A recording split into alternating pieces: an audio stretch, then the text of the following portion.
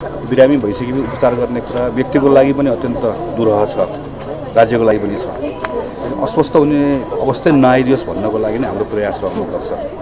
त्यसको निम्ति हामीले गर्ने भनेको सरकारको तर्फबाट गर्ने भनेको नागरिकहरूले चाहेको बेलामा आफ्नो स्वास्थ्य परीक्षण गर्ने कुरालाई सर्वसुलभ ढङ्गले उपलब्ध गराउने हो। अहिले पनि हाम्रो सरकारी अस्पतालमा गएर वर्षको दुई सय रुपियाँ खर्च गर्ने हो भने आजकै दिनमा पनि तपाईँ आफ्नो मृगौलाको परीक्षण गराउन सक्नुहुन्छ। Just two hundred. हामीले तर हाम्रो सरकारी अस्पतालमा त्यो गर्ने कुरालाई सजिलो कसरी बनाउने भन्ने हो। अस्पतालसम्म नपुगिकन स्वास्थ्य चौकीमै यो यो- सुविधालाई कसरी पुर्याउने भन्ने हो। हामी यसमा कामहरू गरिरहेका छौँ। तर सिटिजन आफू यसमा लागिदिनु भएन भने नागरिक पनि आफू सचेततापूर्वक यसमा लागिदिएन भने आफ्नो स्वास्थ्यको अवस्था के छ? आज मृगलाकै कुरा गरौँ मेरो मृगलाको अवस्था के छ?